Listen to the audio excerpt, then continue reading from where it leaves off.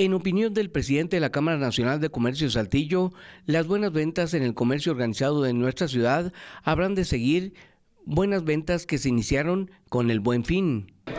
Ahora en el mes de diciembre, eh, esta segunda quincena de noviembre ya hay algunas empresas que empiezan a, entregar el aguinaldo. De hecho, para el tema del buen fin, ya hubo empresas que adelantaron una parte del aguinaldo, ¿no? Entonces, eh, ahora durante esta segunda quincena del mes de noviembre, eh, se va a hacer la mayor parte de entrega de los, de los mismos. ¿no? ¿Qué tanto les elevan las ventas? Bastantito, es, es una época muy importante que arranca desde la quincena del comercio, se suma el buen fin y ahora viene la época decembrina. ¿no? Dijo que no solamente es el incremento en las ventas, sino la serie de consecuencias que trae al haber más recursos en la región por el pago de cajas de ahorro, aguinaldo y demás prestaciones que empresas dan y ellos por su parte contratar más empleados.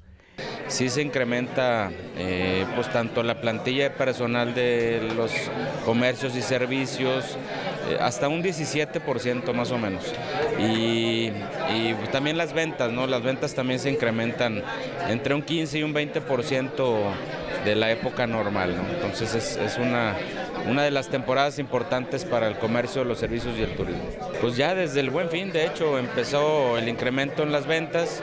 Mucha gente en algunos de los comercios eh, hicieron apartados de mercancía que pueden ir liquidando por quincena hasta la segunda quincena de diciembre. ¿no? Con imágenes de Marco Gamis, RCG Noticias, Carlos Castillo Borja.